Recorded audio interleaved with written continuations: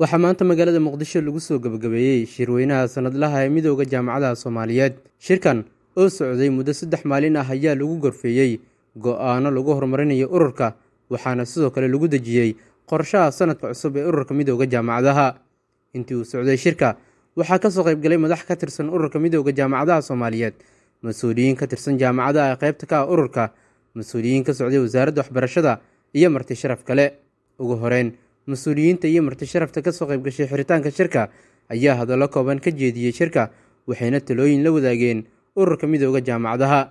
oo jaamacadahana ay ka gudbaan qolo walbaba ay diyaar u noqoto marka buuggeeda inay furto mataqaana wixii la qarqarsanayay iyo wixii hoos lagu hayay inta laga soo gudbo.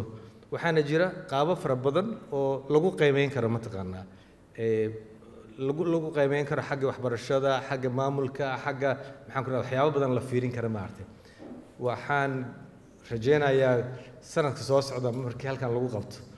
In aan arki doonna abaalmarintaas oo la bixiyey inaan aragno oo hay'ad soomaaliyeed ay bixisay laguna siiya dalka gudihiisa mataqan waa runtii horumar in oo la midoobo midooda jaamacadaha. Waana arrin aad maxaad muhiim u ah. Sida hore loo sheegayna waxa ugu muhiimsan waa in kor loo qaado tayada waxbarashada waddanka sida la ogyahay jaamacaduhu waxay soo saaraan kaadirka waddankan ka shaqayn doono oo wax ka qaban doono haddii annaga aan marka quality-ga iyo quantity-gaba aan ilaalino wax badan ayaa laga faa'iidayaa. Weli wax badanaa noo dhiman. Dad badanaa waxay qabaan jaamacadaha inay dad badan soo saareen.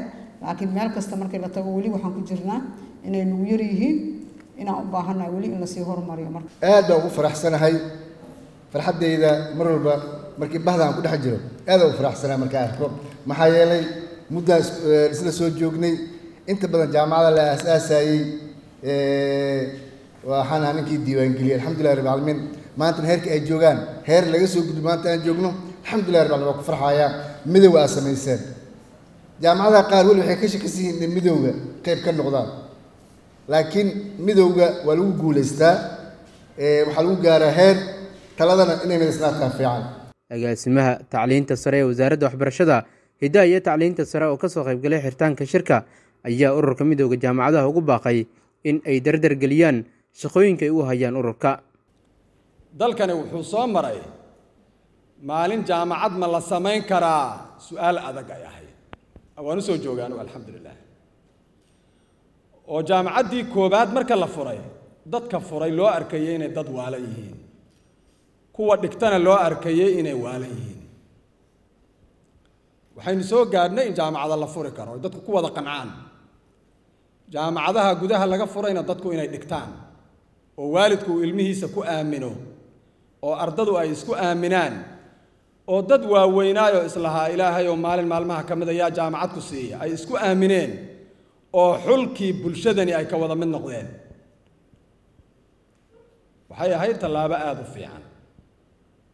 Tallaabadii labaad ee kale waxay ahayd inay jaamacaduhu is uruursadaan oo midowda jaamacadaha la sameeyo. Midowda jaamacadaha in la sameeyo wuxuu ahaa guul labaad oo ummadda soomaalidu ay gaadhay waxaana rajaynayaa inay ka sii fiicnaato hadda galabta intan waxaan ka bixi doonnaa taqriiban lixdan jaamacadood oo ururka ka tirsan. Laakiin waxaan rajaynayaa shirka shirkan ku xiga. Haddaynu nabad nahay oo ilaahay subxaana wa tacaala uu nabad inagu gaadhsiiyo jaamacadaha dalka oo kulligood ka tirsan midowga oo hal urur aada isku tihiin inaan isu nimaadnaan rajo ka qaba ilaahay saasaana rajaynaya.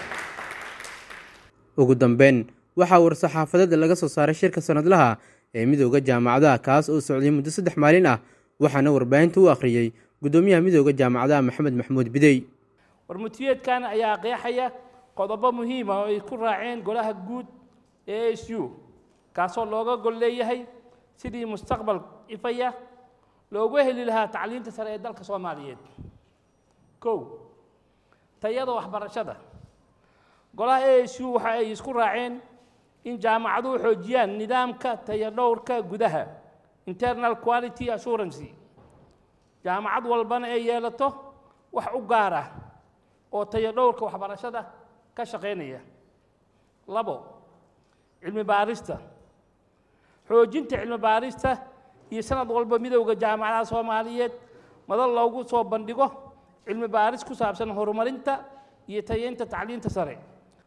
Saddex xiriirka isboortiga. Jaamacadaha soomaaliyeed asaasid xiriir ciyaaraha jaamacadaha soomaaliyeed loona magacaabo guddi hirgeliya arrimaha isboortiga isagoo lala kaashanayo wasaaradda dhallinyarada isboortiga iyo guddiga olambika soomaaliyeed. Afar shaqada iyo shaqo abuurka. Si loo xoojiyo hal abuurka la xidhiira shaqada ee ardayda dhigata jaamacadaha dalka in laga dhigo maadad hal abuurka ganacsiga entrepreneurship. Dhammaan kulliyadaha kala duwan ee jaamacadahana laga bixiyo maadadaasi loogu talagalay hal abuurka? Lix. In midooda jaamacaduhu bixiyo tababaro ku saabsan sida loo xoojin lahaa maamul wanaagga iyo hoggaaminta tacliinta sare horumarinta manaahiijta iyo tayadhowrka waxbarashada. Toddobo. Golaha a s u. Waxay isku raaceen in deeq waxbarasho oo sanadla ah ay siiyaan ardayda soo dhammaysatay dugsiyada sare iyadoo loo mari doono hanaan dahfuran siddeed nidaamka hemis golaha a s u wuxuu soo dhoweynayaa hirgelinta nidaamka macluumaadka maamulka waxbarashada sare ee hemis golaha waxa uu aaminsan yahay in sistamkani uu wasaaradda iyo guud ahaan bahda tacliinta sare ka caawini doono la socodka iyo warqabka ardayda ururinta falanqaynta iyo go'aan qaadashada horumarinta tacliinta sare. Sidaa daraaddeed waxaanu ku boorinaynaa dhammaan jaamacadaha xubnaha ka ah inay si firfircoon oo qayb qaataan nidaamka hirgelinta hemis ee ay si dhow ula shaqeeyaan kooxda farsamada si loo xaqiijiyo in habsami si habsami leh oo guul leh ee u dhaqan galo barnaamijka hemis.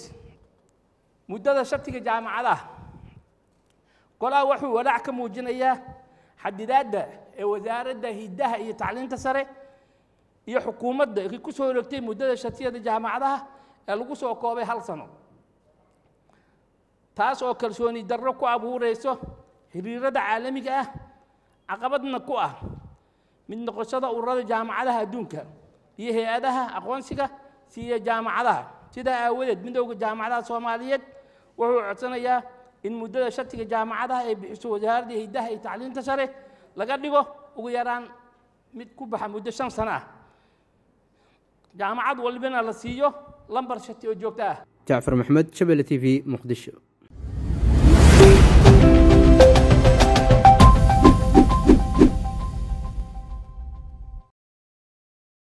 internet balas.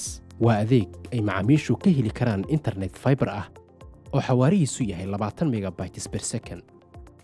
Ayna la socdaan rasiifar ay ku jiraan in ka badan afar kun oo kanaal iyo boqolaal daqiiqado oo ah ku hadal bilaash ah